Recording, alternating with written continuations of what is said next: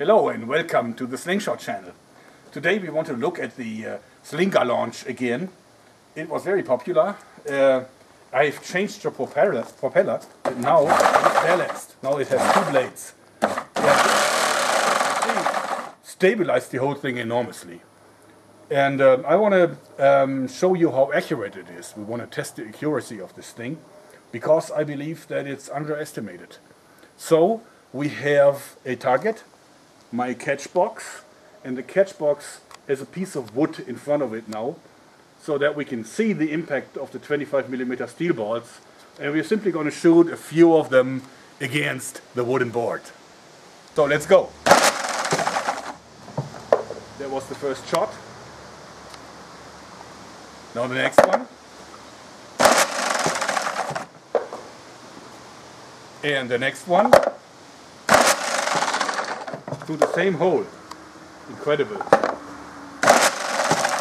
One more. One more. Let me refill the ammo.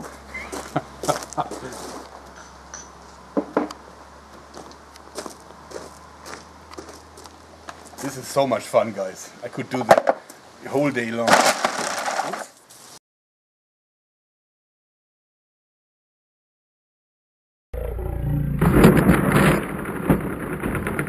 What happened? The spiral actually broke.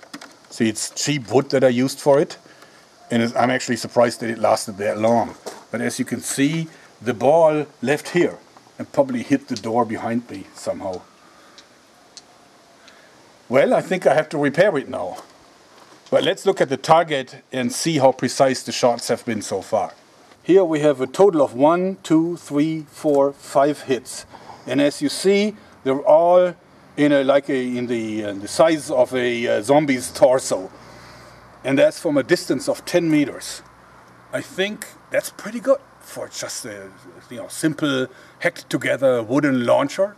I think that concept has a lot of play and we definitely need to investigate it further. I want to show you a new slingshot that I've made.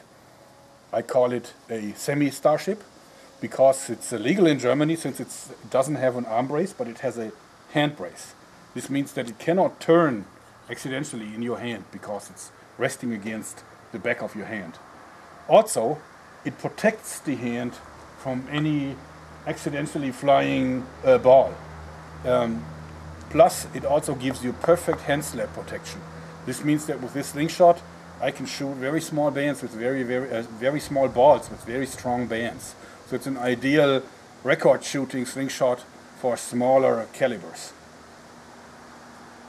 I really like this new design and I think I gotta work a little bit more on it. One more shot.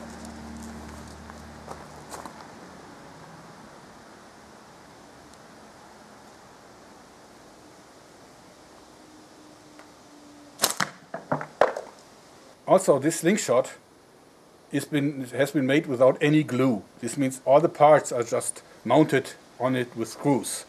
So if you want to make a, a, longer draw extension or even an arm brace, all you have to do is take a longer piece of wood, just a wooden board, and attach the rest and the handle and the fork to it, and you have a full starship. So it's actually also like a kit for a starship. I also want to show you a slingshot that has been given to me by Antraxx, a friend on my forum, a German guy, and uh, he made this slingshot for me, and I'm absolutely blown away with it. I mean, look at the quality of the woodworking. I have no idea how he does this. I couldn't make a, sl a slingshot like this. It's a beauty. And a very, very proud item for my collection. This year, YouTube has invited me to uh, be a special guest at the Video Day 2013. It's the biggest German event. And also, they gave me a few tickets as giveaways for my fans. So I'll switch to German now, as people from outside of Germany are probably not interested in coming. Jetzt mal für meine deutschen Fans.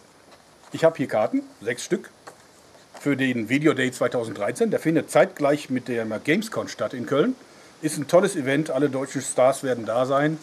Ich werde am Samstag ähm, auch ähm, ein Event machen. ähm, so ein sogenanntes Hangout on Air. Dazu werde ich noch ein bisschen was in meinen Blog posten. Aber wenn ihr die gewinnen wollt, dann hinterlasst einen Kommentar zu diesem Video. Damit seid ihr dann dabei. Der Gewinner wird in ein paar Tagen bekannt gegeben. well, anyway, I hope you liked this because that's it for today. Thanks and bye bye.